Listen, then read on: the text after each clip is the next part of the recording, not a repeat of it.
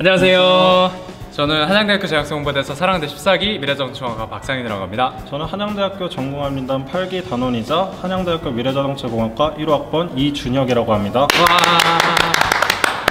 이번 편은 바로 미래자동차공학과에 대해서 설명해드리는 5월 사바사 편입니다. 부릉부릉!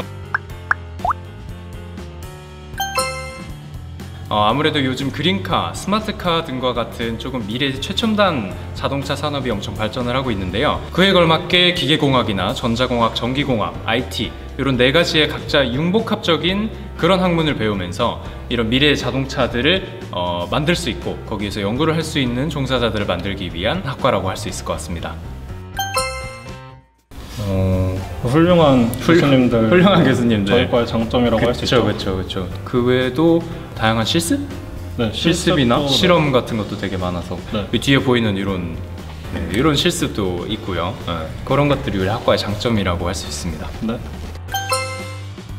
저 같은 경우는 이번에 캐드 과목을 배우고 있는데요. 캐드 같은 경우는 사실 한 6, 70%는 다 실습인 것 같아요. 그리고 이번 프로젝트 같은 경우는 디자인을 해서 그 입체가 움직일 수 있는 운동 함수까지 넣어서 그거를 발표를 하는 예, 프로젝트가 주어졌는데 막막합니다.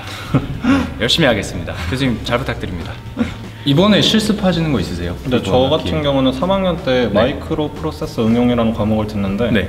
칩에다가 저희가 코딩을 하는 거예요. 어. 예를 들어 저희 같은 경우에는 터렛을 만드는데 어. 제가 왼쪽으로 손짓을 하면 터렛이 왼쪽으로 가고 어. 오른쪽으로 손짓을 하면 터렛이 오른쪽을 바라보는 어. 그런 거를 프로그래밍을 해서 아. 코딩을 집어넣는 그런 실습을 진행하고 있습니다. 오, 완전 제가 이제 스타크래프트 할때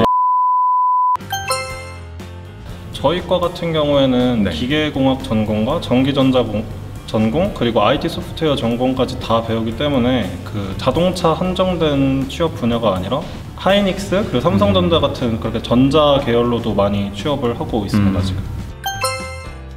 각종 분해 조립을 할 수 있는 아주 카센터 같은 이런 좀 최첨단 카센터 같은 느낌의 장소 차량 분해 조립 실습실도 있고 또 어떤 곳들이 있죠?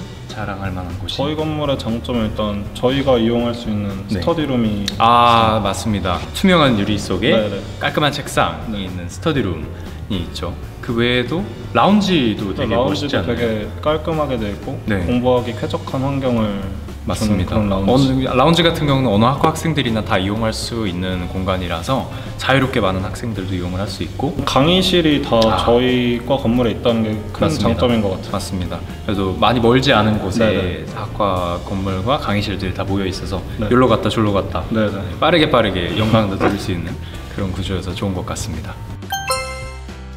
국민대학교에 음. 자동차 그 단과대가 따로 있고 네, 맞습니다. 자동차 IT 융합학과가 아, 있는 걸로 알고 있습니다. 맞습니다. 거기도 있고 그리고 서울과학기술대학교도 자동차 공학과가 아. 되게 어, 유명한 걸로 알고 있습니다.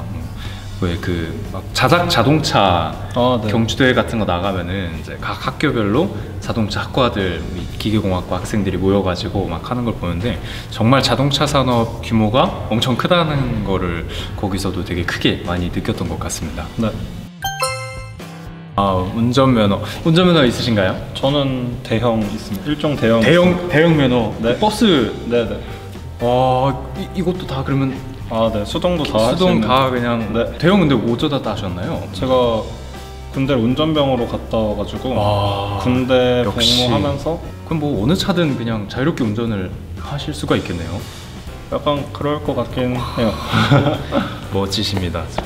혹시 상현 씨는 면허 아, 있으신가요? 네, 저도 어, 면허가 6년 무사고 음. 면허를 네, 오. 하고 있습니다.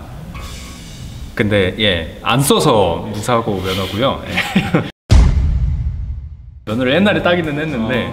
뭐 진짜 차가 있는 것도 아니고 운전할 기회도 많이 없어서 이렇게 장롱 속에 콕 박아두는 그런 면허로 가지고 있습니다. 네. 어떻게 차량 정비 혼자 해보신 적 있나요? 막 이렇게 본네트 이렇게 열어가지고 탁탁 사실 본네트 네 여는 법은 알지만 여는 법은 아는데 안에 제가 어떻게 고치는지는 아, 모르기 때문에 여는 과정까지만 네네.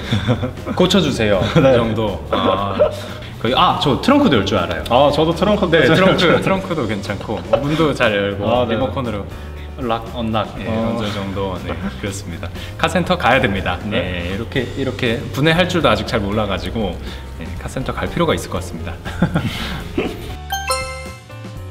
저는 그 볼보 자동차의 XC90이라고 아, 아 저, 저도 굉장히 좋아하는데 네. 혹시 안전성 때문에 아, 그렇죠. 아 역시 저 같은 경우는 어, 볼보도 되게 좋아하는데 최근에 조금 이번에 모터쇼에서 되게 멋지게 보였던 테슬라 어. 모델 X 차량이 되게 멋있었는데 차 문도 이렇게 옆으로 슉 네. 올라가고 전기 자동차인데도 엄청난 어, 파워도 자랑하고 그리고 그 반자율주행 시스템이 음. 어, 전 되게 멋있어 보여가지고 나중에 돈만 있으면 테슬라 어. 타면 좋지 않을까 네, 하는 생각을 가지고 있습니다. 고등학생 여러분, 이렇게나 멋진 실습 환경과 그리고 빵빵한 지원, 학구열이 넘치는 교수님들과 함께 미래 자동차 산업에 대한 꿈을 이루실 수 있는 곳 한양대학교 미래자동차공학과를 추천해 드립니다. 미래자동차공학과의 문은 항상 열려 있습니다.